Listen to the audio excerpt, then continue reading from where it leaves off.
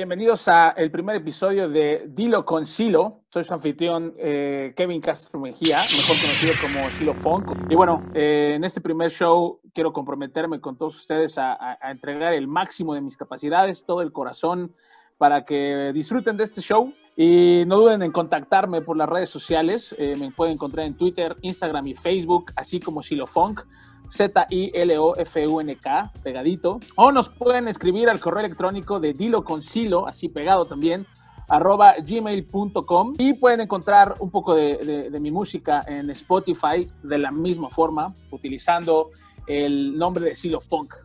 Antes de, comenzar, eh, quiero eh, agradecer a Cabina 11 por permitirnos presentar este proyecto, particularmente a Janet por el, por el apoyo y un fuerte saludo a Paulo y a todo el equipo de producción y edición que se encuentran eh, ahí atrás, ¿no? De todo lo que estamos, de todo lo que estamos haciendo para darles el show más eh, divertido, interesante eh, que, podamos. Entrando en, en, materia, platicarles un poquito sobre un servidor para que vayan conociendo a, a, su anfitrión. Soy un MC originario de, de, la Ciudad de México, de la ahora llamada Ciudad de México, de Chilangolandia. Eh, llevo ya varios años viviendo en, Querétaro y enamorado de este maravilloso estado. Estoy aquí desde el 2014 y ha sido una experiencia eh, formidable. Tengo 39 años, de los cuales eh, llevo 21 años rapeando entre estos dilemas de si hacerlo en serio, en un sentido como una profesión, o eh, que sea un hobby, pero siempre el rap ha estado en mi vida y predominantemente el hip hop. Vamos a platicar un poco sobre, sobre esas diferencias. Y como les digo, a ratos es un hobby y a ratos es, eh, se hace con la esperanza de que pague la renta, ¿no? Eh, llevo 11 años también como docente. tengo cierta experiencia en lo que es economía, economía internacional, política y política internacional tengo una maestría en relaciones internacionales y algunos otros diplomados en diferentes áreas de, las humanidades y de las ciencias sociales. Soy muy, muy familiar, muy empático, amante del básquetbol. Eh, y bueno, ahorita con esto del coronavirus ha sido muy estresante no poder salir a jugar con, con mis cuates, con el VIP Crew, a quien le mando un fuerte saludo a todos mis brothers. Y bueno, básicamente, eh, pues es todo eso lo que, lo que me define, en un sentido muy general eh, de mi personalidad. ¿De qué se va a tratar este programa y cómo lo, lo poco, mucho que sé de estos temas se van a ir poco a poco presentando? Pues nuestro programa va a fusionar eh, música, particularmente lo que es el jazz, el funk, el blues, el rap, eh, lo que ustedes también nos quieran eh, sugerir, eh, lo, vamos a, lo vamos a revisar con muchísimo gusto y vamos a irlo introduciendo poco a poco en los diferentes episodios. Y los vamos a, conectar con temas variados que pueden ser temas de social, político, sea internacional o nacional, entretenimiento, también nos encantan los, los chismes, entrevistar a diferentes creadores, eh, algunos compañeros eh, o, amigos empresarios que estén interesados también en participar en el programa. Claro, todo va a estar conectado a la música, entonces eso va a estar bastante, bastante interesante. En este primer episodio en particular eh, voy a ser solamente, solamente yo, un, servidor, y vamos a platicar un poquito sobre, sobre lo, que es, lo que es el rap, lo que es la, la lírica muy pronto vamos a tener a, nuestro primer invitado, un, amigo al que tengo muchísimo aprecio, admiración, respeto, eh, Saque, Led Serrano, alias, alias El Saque, uno de los pioneros de lo que es el rap en, México. Pero eso va a ser un poquito más, les digo un poquito más adelante, tercer, cuarto episodio. Pero primero hay que definir algunas cosas muy importantes para que vayamos comprendiendo sobre estos sobre estos temas musicales que vamos a ir este, platicando, ¿vale? Entonces, algo muy curioso que me sucedió ah, hace algunos días es que estaba platicando con, con, una cantante de ópera y resulta que me dice que para ella el rap no es un, un género musical. Como ya llevo meses entrando en, en, disputas políticas por Facebook, no quería meterme en una disputa sobre, sobre un tema este, de esta magnitud musical este, con, una, con una persona a la, que, a la que le tengo también muchísimo respeto.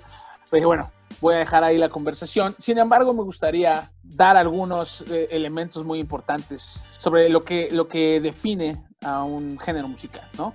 Entonces, un género musical o un subgénero eh, está definido por una gama de técnicas musicales, un contexto cultural, contenido y, temas relevantes en, las canciones o en, los, o la producción, eh, tienen un origen geográfico y de este, de este macro, ¿no? de, este, de este género principal, se van eh, haciendo varias ramas de subgéneros. Entonces, el rap es un, es un género musical, pues cubre totalmente con cada uno de estos, de estos eh, elementos. ¿no? Hay una gama de técnicas musicales que se involucran en la producción de un beat musical. tiene un contexto cultural muy fuerte, y hablando del contexto cultural, les recomiendo muchísimo, si, si tienen la posibilidad de estar en, en Netflix, eh, vean Hip Hop Evolution, es un documental muy, muy, muy interesante sobre los principios de, lo que es el, el, rap y otros aspectos. Entonces, partiendo desde todos estos elementos, el, el rap es un género musical, ¿ok? No hay no hay forma de no decir que no tiene un género musical y además, como sabemos, tiene varias eh, vertientes, ¿no? Está el, el, gangsta rap, ¿no? Está eh, diferentes estilos del West Coast, del East Coast. Entonces sabemos que, que del rap derivan eh, otros, otros subgéneros interesantes. Ahora, a la diferencia entre lo que es rap y hip hop, si, si, si ven el documental de, de Hip Hop Evolution o si se dan un paseo por diferentes publicaciones que hablan sobre los orígenes de, del rap, van a darse cuenta que África Bambara sería el primer artista en escribir el término hip hop como una cultura a la cual pertenece el MC. MC como un servidor también se, cataloga, es el maestro de ceremonias, ¿no? Es el que, el MC era la persona que en el micrófono comenzaba a pues, prender a la banda, que la fiesta se pusiera chida, eh, mencionar al DJ, invitar a la gente a hacer breakdance, etcétera, etcétera, etcétera. Por eso se le llama MC. El MC es parte de esta cultura del hip hop, una forma de entender las grandes diferencias es que el hip hop es la cultura y el rapeo es uno de los elementos que forman lo que es el, el hip hop. Que hay otros principales como es el baile del breakdance, está la parte del DJ, ¿no? Está la parte de graffiti. Y bueno, el, el, hip hop continuamente crece, ¿no? Tenemos libros, tenemos obras de teatro, o sea, hay una infinidad de expresiones que con la evolución del hip hop también van surgiendo. Entonces aquí ya tenemos que el rap sí es un género musical, ya entendemos cuál es la diferencia entre el rap y el hip hop. Y quiero citar a uno de los íconos del rap más conocidos a nivel mundial, uh, KRS-One, eh, que dice, Rap is something you do, but hip hop is something you live. E, e, el rap es una forma de expresión, pero un estilo de vida es lo que es el hip hop. Entonces, este es el contexto eh, cultural. Vamos a eh, revisar eh, en este par de episodios algunas letras y algunas canciones interesantes, pero voy a usar un libro y se llama Book of Rhymes, The Poetics of Hip Hop, de Adam Bradley. Y aquí vamos a, aquí eh, diferentes capítulos en diferentes eh, eh, temas platica muchísimo sobre la belleza en las letras del rap, ¿no? Entonces, incluso la primera parte del libro es la, la parte lírica, poética, de, de, de, escribir las letras que eventualmente van a ser acompañadas por un ritmo. ¿no? Y hay una línea con la que este, me gustaría empe empezar sobre que viene en este libro, y dice, hip hop emerged out of urban poverty to become one of the most vital cultural forces of the past century. El hip hop surge o emerge de la pobreza eh, urbana para transformarse, transformarse en una de las fuerzas eh, culturales más importantes en lo que fue el, el, siglo pasado. Y les puedo decir que en la actualidad continúa siendo una, una fuerza cultural eh, trascendental. Eh, me imagino que algunos de ustedes han estado, han estado enterados con los sucesos eh, en las últimas semanas que pasaron en los Estados Unidos con la muerte de George Floyd a manos de un policía de tez blanca que vuelve a, demostrar el nivel de, de racismo y de violencia estructural que vive los Estados Unidos en cuanto a la relación entre, entre las comunidades blancas y la, comunidad negra y también podríamos incluir a otras minorías dentro de estos, eh, dentro de estos temas, pero predominantemente eh, los negros se han visto por siglos, se han visto dañados por la estructura social eh, norteamericana. Entonces es un tema muy interesante puesto que de ahí es de donde va a surgir el hip hop y todos los elementos eh, que lo caracterizan eh, principalmente.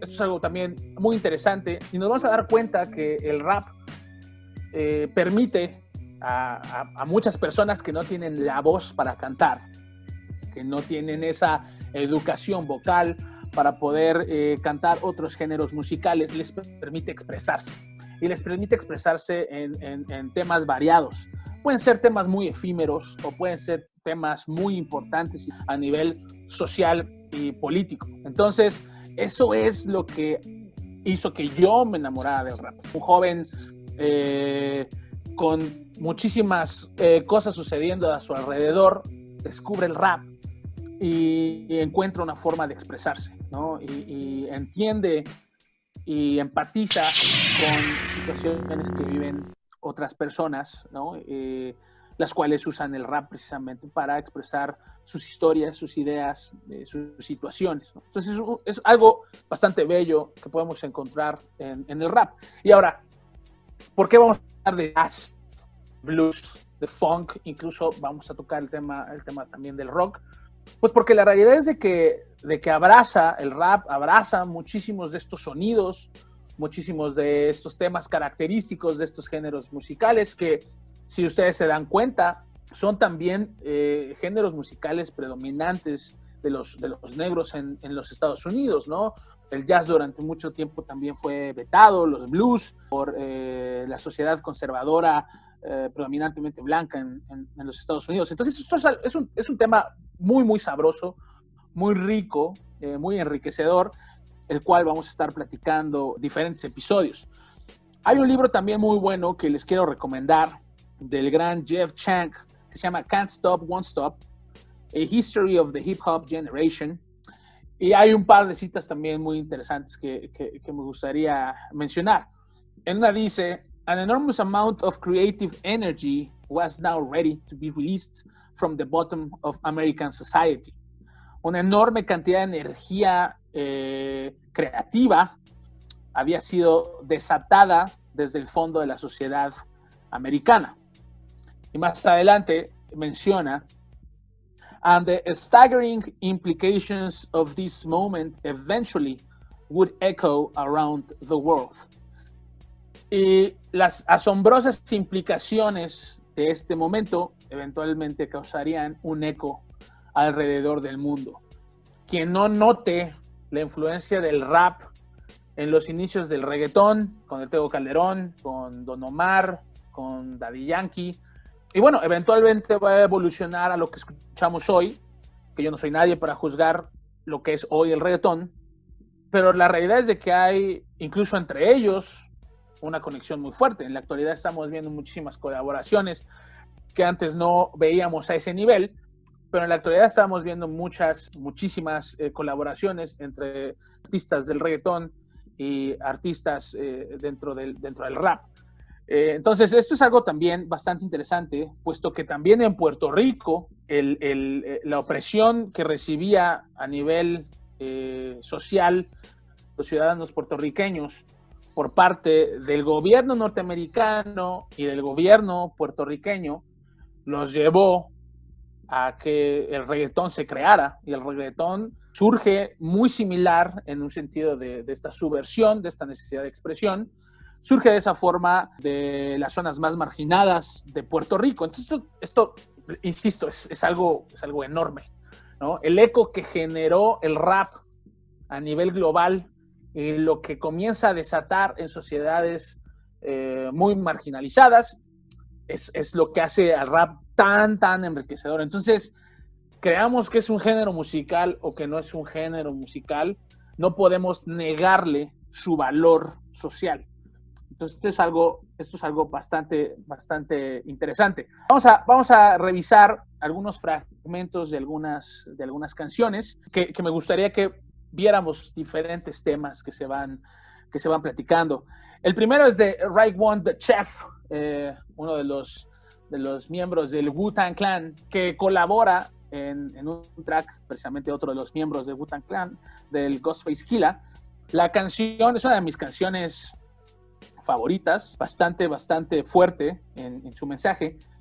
La canción se llama Motherless Child, el hijo sin, sin madre, ¿no? Eh, es de 1996 y en el fragmento que vamos a, tocar eh, surge la siguiente, la siguiente rima. Rich man, poor man, read the headlines. Nigga getting murdered for spot and bigger dimes. Jobs and drug wars, living by gun law. Jail cats come home and want to take yours. As the young one growing up broke me and my people, had to sell coke. I guess we all in the same boat. Think it plus drinking that 90 proof, playing on the roof saying we need an X-Man. Read the headlines. getting murdered for spots and bigger dimes. Droughts and drug wars. Living by gun law. Jail cats come home and wanna take you on as a young one. Growing up broke. Me and my people's at the phone. I guess we all in the same boat. Thinking, plus drinking that night blue. Laying on the roof singing. We need an X-Man to. Esta canción está inspirada en, la obra original eh, de Odetta, eh, que con gran pasión, y, si buscan esta, a esta eh, cantante eh, afroamericana, que con gran, gran pasión y dolor expresa la experiencia de un niño que fue separado de su madre para ser vendido como esclavo durante la esclavitud que se vivió en Estados Unidos a lo largo del siglo XIX. Desde el siglo XIX nos vamos al siglo XX y escuchamos esta, esta letra que dice, hombre rico, hombre pobre, lean el periódico, vean los titulares de las noticias. Eh, los, negros estamos siendo asesinados, el, trabajo, eh, la, guerra contra las drogas, vivimos bajo la ley de, las armas, de, las pistolas. Eh, amigos en la cárcel regresan a casa y quieren lo que tú tienes, este, como resentimiento, esta envidia de que pasas años en la cárcel, sales y ves que el, morrillo con el que salías a jugar tiene su tele, ¿no? Tiene, tiene sus, Jordans y tú no tienes nada y trabajo, entonces entras en, esto, en esta situación de, crimen. Luego dice que, que, como un joven creció quebrado, sin dinero, pero no solo él, sino también su gente, su familia. Tiene que vender coca, cocaína, todos estamos en este mismo bote, ¿no? Todos estamos en este Titanic que está a punto de, estamparse. Y uno tiene que sobrevivir de, la mejor forma posible. Eh, pero además, eh, pues caes en, no solo en las drogas, también caes en, el alcohol. Y luego está esta noción de quién más va a ser asesinado, quién más va a morir. Es, es, un, es, un, es una letra fuerte, es una letra muy interesante.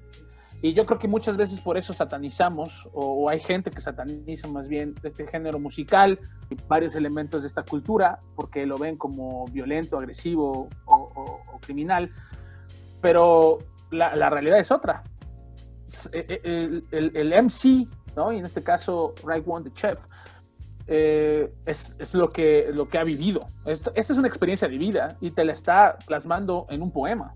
Pues ahora vamos a otra canción increíble no creo que la palabra sea romántica, pues ustedes saben, cuando uno es, cuando uno es joven y está eh, enamorado, ¿no? Ahora, como dicen, de, del crush, de su crush, forma, en, mi época era muy interesante que, que, bueno, no se daba tanto esto de llegar, hey, oye, me gustas, hay que salir. Era un proceso un poquito más complicado, ¿no? Este, hace, hace poco tiempo hablaba con un amigo de, oye, ¿te acuerdas cuando tenías que marcar la casa de los papás de la chava? ¿no? Y, que te constara el papá y decir, hola, soy Kevin, este, quiero hablar con tal, ¿no? Y, ¿qué, quieres con mi hija, ¿no? Y, todo, todo lo, que, lo que venía con ese miedo de hablar a la casa de, de tu chica, ¿no? Este, o bueno, de, la chava con la que, con la que quería salir. Y, sorry, no solamente chava, también puede ser con el chavo. Recuerden que esto es para todos, ¿no? Esto, esto es inclusivo, este show. Entonces, eh, una, una canción que me encanta de, de, Quest y Q-Tip, uno de los, uno de los MCs, uno de los principales MCs dentro de este, dentro de este grupo, que además es un, es un grupo pionero, unos elementos increíbles en cuanto a, a rap y, beats y, flow, ¿no? Es, algo muy, muy sabroso. Está esta canción que se llama Bonita Apple Bomb de 1990. Yo tenía en ese momento 10 años de vida, estaba entrando ese momento de, de comenzar a, decir, ok, me gustan las, las, las ladies y, y, bueno, ¿no? Está, estamos aquí con, con esa preadolescencia, ¿no? Que es algo muy, muy interesante. Entonces, cuando sale esta canción, yo, yo, yo, me volví, yo me volví loco. Vamos a, les voy a leer el fragmento y después de escuchar eh, la rola, vamos a este, describirlo un poco más. Eh, dice esta frase de Q-Tip, bonita to meet the stunning newness. I must beseech ya. Uh, a, being with you is a top priority. Ain't no need to question the authority. Chairman of the board, the chief of affections. You got minds to swing in your direction. Hey, you like a hip hop song, you know? Bonita Applebaum, you gotta put me on. Hey, Bonita, glad to meet you. For the cunning stunning you miss, I must beseech you. Mm-hmm. Hey, being with you is a top priority. Ain't no need to question a authority.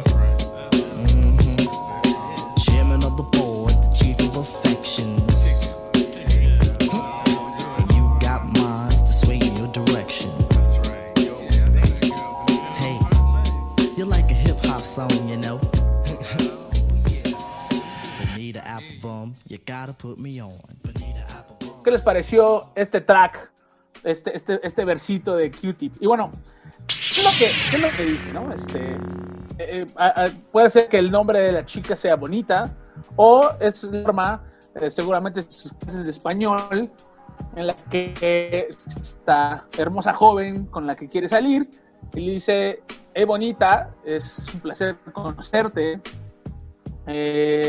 por esta belleza tan fresca, tan, tan única que tienes, quiero cortejarte, quiero salir contigo, quiero conocerte. Contigo es mi prioridad principal y no voy a cuestionar tu autoridad. Eso es algo también muy interesante porque empodera totalmente a, la mujer, no se presenta como un macho, sino que le da todo el control de lo que vaya a surgir después de esa presentación a ella. Luego dice Chairman of the Board, the Chief of Affections, el directivo principal de toda la, la, la lista de, este, pretendientes que se encuentran ahí este, intentando eh, conocerla. Él quiere ser el jefe de, el jefe de, de, de, este cariño hacia, hacia ella y viceversa, ¿no? Se puede entender que también puede ser recíproco. Tú eres como una canción de hip hop, ¿sabes? bonita Apple Bomb, me tienes que poner en rotación. Esto de poner en rotación es eh, cuando hablabas a, la radio, y seguramente sigue sucediendo en la actualidad, cuando hablas a la radio y dices, oye, DJ, pon esta canción en rotación, por favor, para mí, porque es mi rola favorita. O sea, él está diciendo a Bonita que ella es su canción favorita, ¿no? Es su canción de hip hop favorita y que, por favor, eh, salga con ella, ¿no? Es una forma que me parece muy romántica, muy inocente también de expresar interés por una chica. Entonces, escuchen la completa, seguramente está en Spotify, eh, Bonita Apple Bomb de 1990 de A Tribe Called Quest. Muy bien, vamos con, con la que sigue. Este es un rolón, es una, es una de mis rolas favoritas y se llama Mathematics, Matemáticas. Es de 1999, cierre de siglo XX. Eh, Mos Def es uno de mis raperos favoritos. Entonces, bueno, vamos a, eh, les voy a leer el fragmento y después de que lo escuchen lo analizamos. Dice, uh, full of hard niggas, large niggas, dice tumblers, young teens, and prison queens face life number. Crack mothers, crack babies, and AIDS patients. Young bloods can't spell, but they could rock you in PlayStation. This new math is whipping motherfuckers' ass. You want to know how to rhyme? You better learn how to add. It's mathematics. Escuchemos esta, este fragmento de, de Mathematics y luego lo eh, lo revisamos a detalle.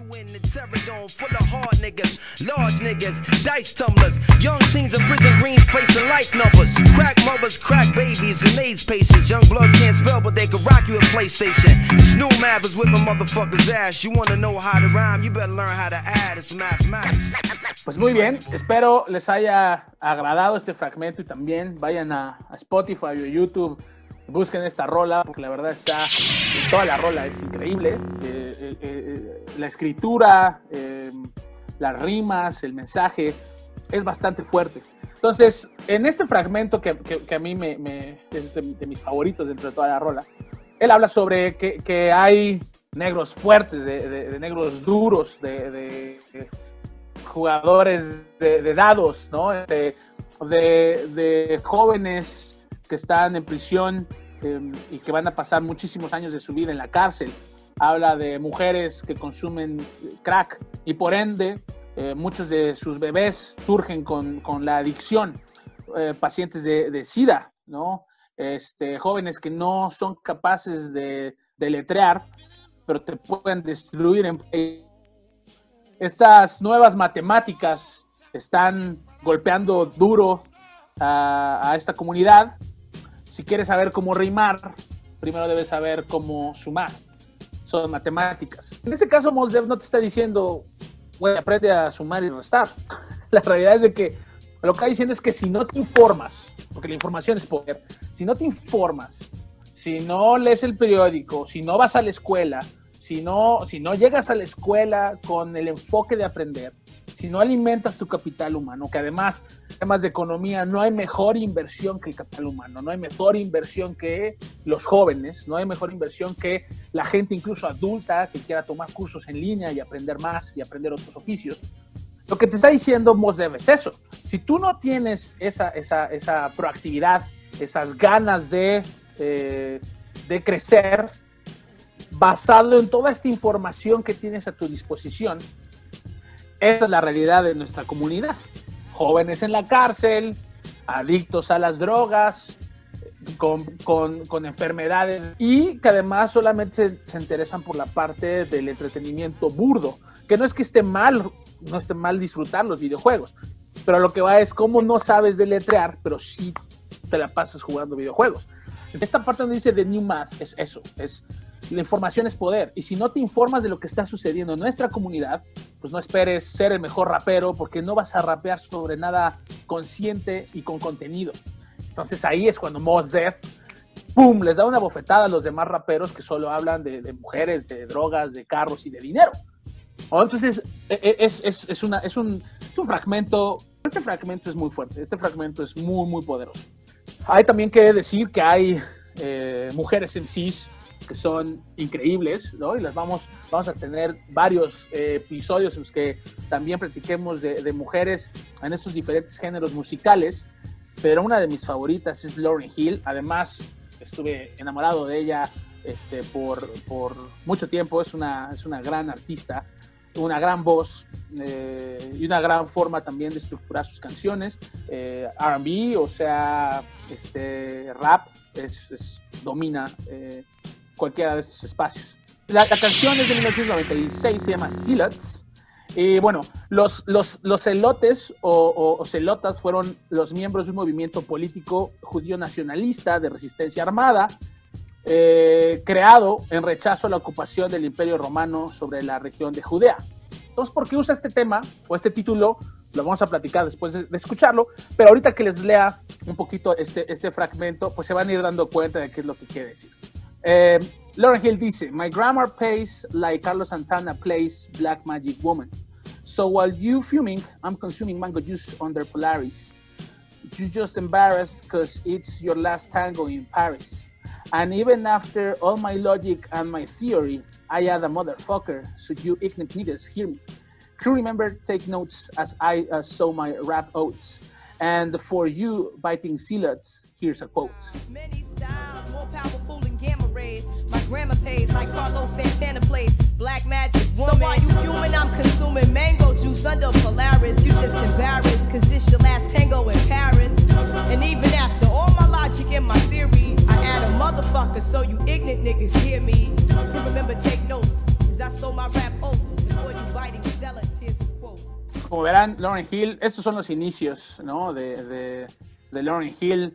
Eh, y yo creo que esta canción fue un, un, un, éxito rotundo. A mí me encantaba. En esta época tenía yo 16 años y para mí eh, lo, que, lo que era eh, The Fugees, híjole, mis, mis respetos, ¿no? Entonces, ¿qué es lo que dice, lo que dice Lauren Hill? Ella habla sobre que su gramática paga, ¿no? Le da, le da un ingreso, como cuando Carlos Santana presenta eh, la canción de Black Magic Woman. O sea, Carlos Santana ya era un hit y obvio esta canción de Black Magic Woman pues le generaba fuertes ingresos a Carlos Santana. Entonces lo que está diciendo es que su, gramática, ¿no? La gramática de Lauren Hill le está generando esas, esas cantidades de dinero como un éxito tan grande como Black Magic Woman de Carlos Santana. Así que mientras tú estás haciendo tus cosas, eh, descuidado, mientras estás echándote un porro, mientras estás distraído, ella está consumiendo jugo de mango bajo el Polaris. Te sientes avergonzado porque este es tu último tango en París. Y eh, lo que ella está jugando con las palabras, Polaris y París, eh, bueno, Polaris y París riman, ¿no? Entonces, eh, y además Last Tango in Paris era una película muy famosa en la cual este, me parece que Marlon Brando es el, actor principal. Y es, es, fue una película muy criticada, pero al mismo tiempo una, una, película muy premiada, en el sentido de que pues había un, sexo no tan explícito, pero para la época sí era algo como que wow, ¿no? Todo el mundo está encuerado. Entonces, eh, es, muy, es muy chistoso cómo ella juega con estas palabras, en el sentido, con, este frase, con estas frases, en el sentido de que te sientes avergonzado porque es tu último tango en París y es como decir, pues, e, es, es, una, es una, una película que generó que mucha gente muy conservadora se sintiera avergonzada de ver cuerpos desnudos en el cine. Entonces, ella juega, ella juega con, con estas imágenes de una forma exquisita, ¿no? Es, la, verdad es una, una, gran artista. Lo dice, y, incluso después de toda mi lógica y mi teoría, o sea, ella, ella está presentando eh, esta, esta información, eh, poniendo estas imágenes eh, tan ricas en, en, pocos, pocas palabras, en pocos enunciados, y dice que tengo que agregar una mala palabra para que ustedes ignorantes me escuchen. Y esto es criticando al rap que solamente se dedica a eh, decir groserías, ¿no? Entonces, y, que, y que además es la única forma, o pareciera que es la única forma en la que vas a escuchar buen rap, ¿no? Que, que tenga que tener malas palabras. Entonces ella dice, bueno, y para que a mí me escuches, tengo que agregar una mala palabra para que digas, wow, ¿no? Entonces eso es algo también muy interesante porque ella también se, presenta como una mujer fuerte y empoderada dentro del género. Dice que, que, su, que su crew tiene que estar tomando notas para que ella pueda extender y, y, tejer todas sus, todos sus raps. Y para ustedes, este, celotes, aquí está una cita. Entonces, eh, también usa este, este concepto, esta definición de celotes que les estoy, que les estoy diciendo, ¿no? Estos, estos como, como estos eh, resistentes, ¿no? A, este, a un rap diferente, a un rap eh, que trae muchísimo contenido, que trae muchísima conciencia. Eh, pues les está aventando de alguna forma eh, la, la, la, bolita, ¿no? La responsabilidad a su cancha. Es un tema este, bastante, bastante interesante. Les vamos a dejar en este momento para este primer episodio. Espero les haya este, gustado muchísimo. Vamos a continuar revisando algunas, algunas letras en, el siguiente eh, episodio para continuar platicando sobre esta riqueza lírica eh, y poética que podemos encontrar en el rap. Eh, antes de despedirnos, agradecer a toda Cabina 11 por, por la producción, edición y obvio por el espacio. Y a, gente que tenga algún producto, servicio que le interese, que hagamos alguna mención por aquí, mándenos un correo para, para platicar. Espero hayan disfrutado de este primer episodio y por favor, no olviden alimentar a su alma de pasiones y felicidad todos los días por el resto de su vida. Nos vemos en el próximo episodio.